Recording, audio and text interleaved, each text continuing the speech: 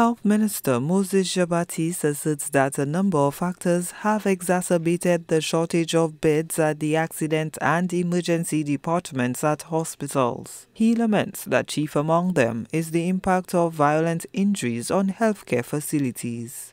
Um, the government has said before, I have said a number of times, that the, the, the, the impact of, of violence can be felt not only in our families in our communities, but also but also it has negative impacts on the operations of health facilities.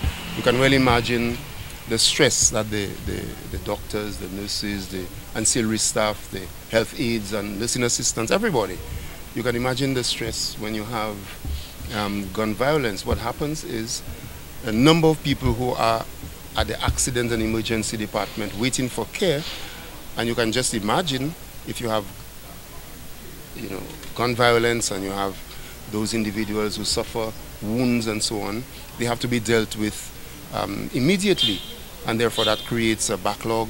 You can imagine the, the, the mental the mental wellness of, of our medical professionals. Baptiste argues that lifestyle diseases may contribute to the lack of beds for patients in need.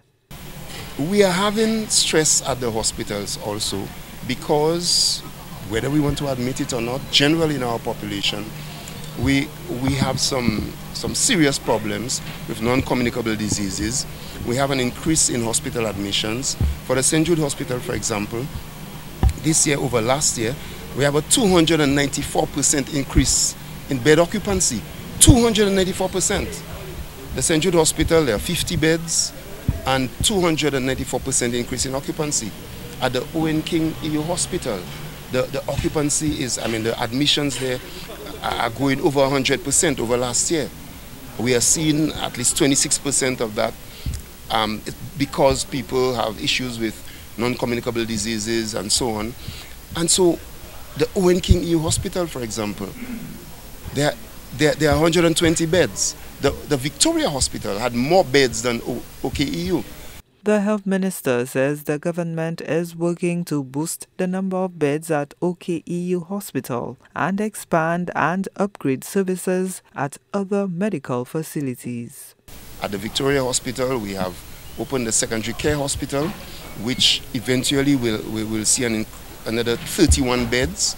So we're going to add over time 31 beds to the 120 beds we have at, at OKEU and we are going to add other services. We have added, not going to, we have added other services at the secondary care hospital and we are doing some more work at the secondary, at the Victoria Hospital to relieve the pressure, the Castries Wellness Center and so on.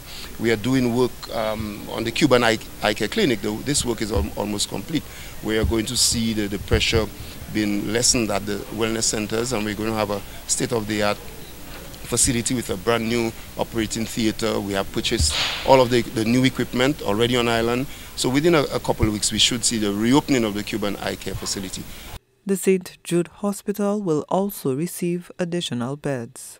We are, as we speak, expanding certain areas um, of the stadium to include more beds. Hopefully, we, we are going to see an increase from 50 um, inpatient beds to, to 66. So that gives us some additional beds while we are with the, the, the newly refurbished St. Jude Hospital.